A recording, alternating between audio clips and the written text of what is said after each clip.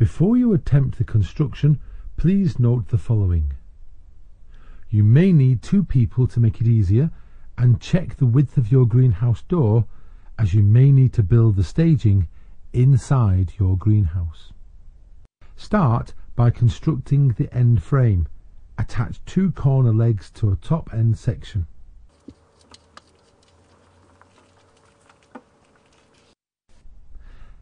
Then attach braces between each leg and the horizontal to strengthen the frame.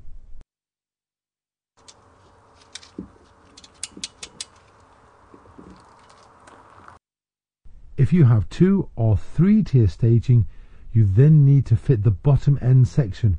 Here, we are constructing two tier staging. If you have three tier, there would be two bottom end sections in your kit.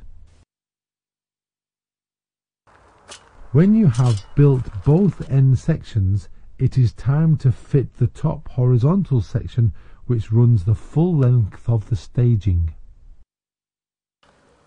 This fits inside the top end section and attaches again with bolts through the top of the upright. Repeat the process on the other side.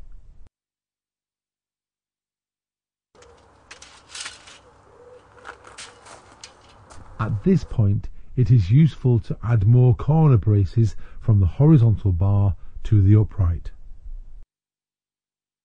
The next stage is to construct the middle leg frames. These are done in the same way as the ends, but remember the holes for the top and middle horizontal sections must be facing upwards.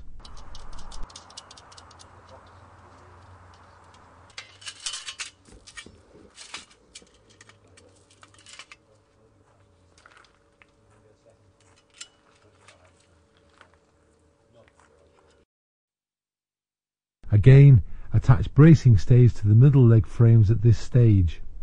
To fit the middle leg assembly to the frames, simply slide under and bolt into position.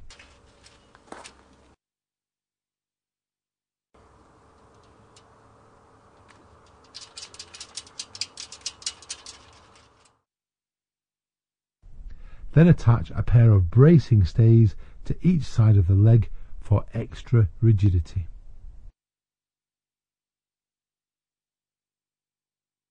The next stage is to fit the bottom horizontal section. This fits inside the corner leg sections and again is bolted in place, first at the ends, then at the middle legs.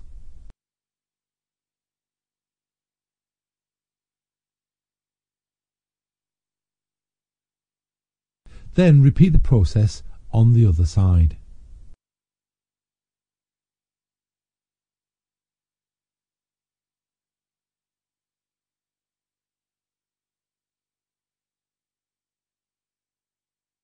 Finally, work your way around the staging, tightening the bolts with a spanner. Then simply add your slats or trays and you are ready to go.